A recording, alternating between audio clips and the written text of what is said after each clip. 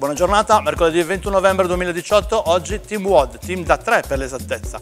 Si comincia con 7 minuti unwrap dove ci saranno 50 push press, a seguire con un carico maggiore 50 push press e poi con un carico ancora maggiore 50 push press unwrap fino ad arrivare alla fine dei 7 minuti.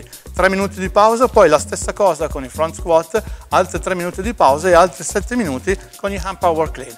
Pesi e scalature come al solito qua di fianco, vi ricordo che su Instagram potete trovare sia la spiegazione più dettagliata della classe che il riscaldamento suggerito dai nostri coach. Ci vediamo domani!